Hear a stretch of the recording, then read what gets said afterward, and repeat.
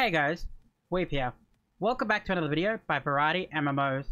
In today's video, we're going to be talking about everything to do with the Ranger class. We'll be talking about pros and cons of the Ranger class. We will be talking about abilities and showing you a good skill build to set up so you can farm really quickly. We'll also be talking about the stats based on that build and what you should be aiming for. We'll be talking about branch damage, and we'll be talking about how branch damage is really important and we'll talk about various ways to get it and which branch damage you should be aiming for.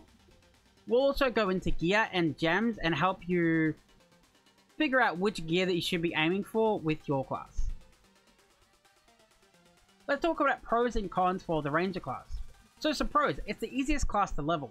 The reason that it's easy to level is because it has a really good kit when leveling up, and it's also a kiting god. The ability to attack while moving. So not only are you able to kite really well due to your abilities, but some of the abilities actually move and do damage at the same time, taking kiting to a whole new level. This is why leveling is so easy and why I recommend the Ranger class above any others for new players. The Ranger class is one of the best field farmers if you have the right skill setup. If you have the wrong one, it can prove quite problematic. Cons. Very vulnerable to melee classes that stack CC. So you do have a lot of dodge and quite a bit of mobility. However, if a melee class gets on top of you and chain CCs you, you're not very tanky and you get hit by every type of CC available. So they will stun you and CC you into the ground and probably one-shot you if they have enough CC and enough damage to do it. Next up is mobility skills push you out of the best farming area. What I mean by this is that your mobility skills that you use to use less potions will jump to the side of the area, not so far that you would run back, but it kind of goes off to the side, so it's only fighting 1 to 3 mobs, instead of sitting in the middle and fighting, say, 10 to 20 mobs like I am right now, and not actually using potions. The third con is that the main weapon doesn't share with any other class. So other classes are able to share some of their weapons. For example, a Warrior and a Valkyrie uses both the main hand and offhand, but when it comes to a Ranger, it's not very alt-friendly because you can't trade over your weapon. Let's talk about the skill build. I would like to mention that this build is aimed at pulling groups of mobs together as fast as possible. And you will do it so quickly that if you're standing beside somebody else, you'll be tagging the mobs much faster than any other class will be able to. And that's the objective of this build. So, the build starts off with True Shot. So, True Shot is an AoE cone ability which does a lot of damage and hits a wide AoE cone. So, it's obvious that you're going to want to use this because it's pretty much your bread and butter ability.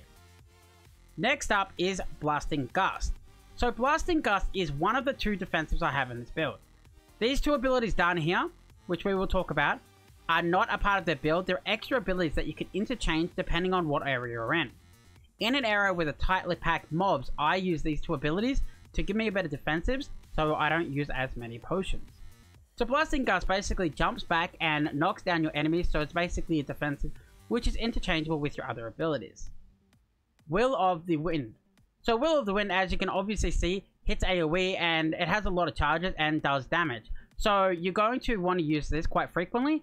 It also jumps towards the mob, so it keeps you towards the center of the mob pack rather than to the outside, which some of the ranger's abilities can do for you. Next up, let's have a look at Spin Blade. So Spin Blade is one of the other optional skills that I have on the build. The reason I have it though is because, like Will of the Wind, it brings you in closer, so it brings you in towards the middle of the mob pack. But it also hits in a circle and stuns them. And it will usually use it pretty quickly along with another AoE to wipe out all the mobs. So it will AoE stun, so you don't take as much HP loss, and it'll kill them more before the sun runs out. Next up is Spinning Shot. So Spinning Shot pierces 6 enemies and it does a nice amount of damage, has 3 charges, and a very, very quick animation. So this is another one of your bread and butter skills, what you're going to be using very frequently on this build.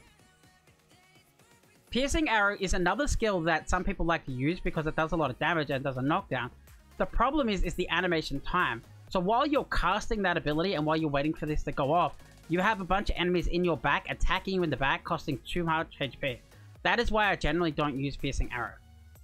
Next up is Call of the Earth. Call of the Earth will raise your defense and heal you. So it's basically something to use pretty much on cooldown. Flurry of Arrows. So Flurry of Arrows pushes you back a bit and can sometimes get you out of your farming area, but that's what these two abilities kind of counter. And it also hits a lot of enemies and does decent damage with a lot of charges.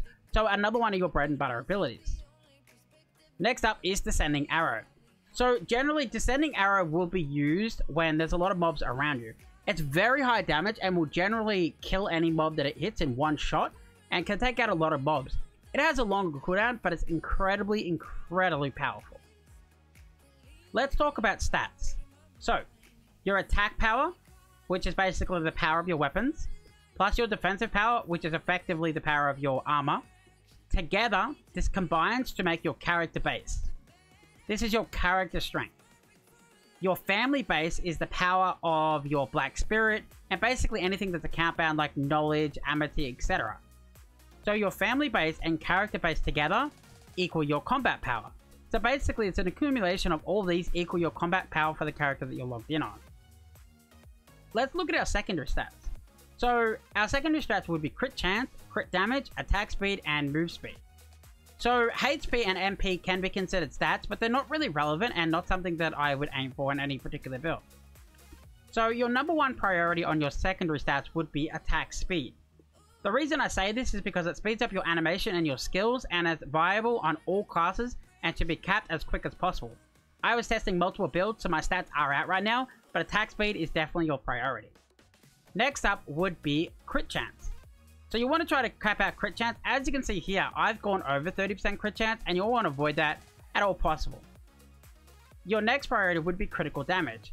Now you may be thinking, why do I prioritize critical damage below critical chance? The reason is, is because there's no direct way to go and try to get crit damage right now. The only way to get it, which we'll talk about more about later, is a way that you can't really farm or put into your gear slots currently in global, so it's really hard to obtain. So you get it when you have the chance, but you're mainly looking for crit chance first. Next up is movement speed. Movement speed you can have if you really want. As you can see, I have a bit of it, but it's not something that you particularly aim for. Branch damage. So let's open this up. So increased skill damage or Ale. Ale is about an average of a 10% damage increase on the abilities that it's applied to. Surret makes your abilities hit more enemies. A Ahib chance of extra damage. So there's a 10% chance of doing 70% extra damage. But it does not multiply with the crit. So you can't crit and then do 70% of that and one shot someone. It doesn't work. And the Breathe gives you an extra 10% crit rate. So as you can see here, my stats are kind of all over the place because of the different builds that I've been testing. But for this particular build, your focus is going to want to be on Ale as much as you possibly can. Try to cap it out and the next one is going to want to go Labreve. So basically, we're going a static 10% extra damage across whatever abilities Ale is on. And two of our abilities do not have Ale, and it has Labreve. So we stick Labreve on to get some extra create on those two abilities. Let's talk about gear. So here we're looking at the main weapons for the Ranger. Let's go up here and have a look at the orange ones. So in the orange, there's actually two weapons that have two sockets. And the sockets are your primary objective. So if you look at the Ultimate Bears longbow, it has two sockets. And if you look at the Liverto longbow, it also has two sockets. But you'll notice that there's a massive price difference. Now you're probably initially thinking that the reason the price difference is so big is because there's minus attack speed on this one and crit chance on this one, but that's not necessarily the case. So after gems, trying to always get two gems on your gear, your second priority is actually the base CP. So if you look here, the base CP is 95, but if you look at the other bow, it's actually 86. Now you're probably thinking, hey, this is only 9 AP, but your base AP is what's used as a scaler when you upgrade your weapon. So when you upgrade to a weapon, say an Ultimate Bears longbow and a Liverto longbow it's a plus 30, the difference between the bows could be potentially 30, 40, 50 CP, not 9. So the CP gap at base is actually the second priority that you're looking for when you're looking for a piece of equipment. Your third priority is obviously the stat line as we just looked at. You're not going to want minus 2% attack speed. Let's talk gems. So in the beginning of Black Desert Mobile, say the first month, it's going to be extremely hard or nigh on impossible to obtain yellow and orange crystals with your correct stats. So a better way to do this is to obtain purples. So if you look at my gear, you'll notice that majority of my gear has plus 7 purple crystals. So they're magic crystal strength. So they always have plus 5 to plus 7 attack. Next up, you'll have your branch damage. I don't need Surret damage. I actually don't have the optimal gems right now for trying different builds. But the gems that you want for this particular build would always be the maximum attack you can get and the ale damage. Because the ale damage is what is the main branch used in this build. Ale followed up by a bit of Labreve. So get all of these gems if you can. And hold on to any other gems that don't have these current stat lines because you can fuse them or use them for other builds when you get a little bit further into the game. Okay, so we've mentioned branch damage quite a few times throughout this video. So let's talk a little bit more about branch damage so you have a fully understanding of how it works. So branch damage applies to abilities that you have equipped on. For example, True Shot, I can apply either Ale damage to it or I can apply to Labreve damage to it. And the ways to obtain your branch damage are here. So first off, you go into Black Spirit and go into Equip Lightstone. So we all know probably the higher tier of these, the more stats they have on them. For example, a purple one has one stat line and one main ability. However, a yellow will have two. So as you go higher and higher, up to orange and red, you'll get more stat lines. And you're hoping, the stat lines that you're hoping for here would be priority number one, crit damage, because it is so insanely hard to obtain. And your second priority for this particular build would be to get as much ale damage as you can. It is very hard to get these, so don't force it. If you can't get ale damage, just put on crit damage instead. So if you want to see what exactly stats that you have in here, you can click on Equipped Effect and go down here and see all of your substats that are currently available from your Black Spirit. Next up, let's have a look at accessories. So if you go down here and go to Accessory Resonance, what this is, is basically when you acquire your jewelry, and for example, you plus all your jewelry plus 3 and above, you get all branch damage plus 1. I recommend another video going to plus 8 blues because it is very cheap, gives you stats, and it also gives you plus branch damage 6%. The re I'm getting plus 6%, that is why my branch damage looks like this. When I have so many stats compared to other people.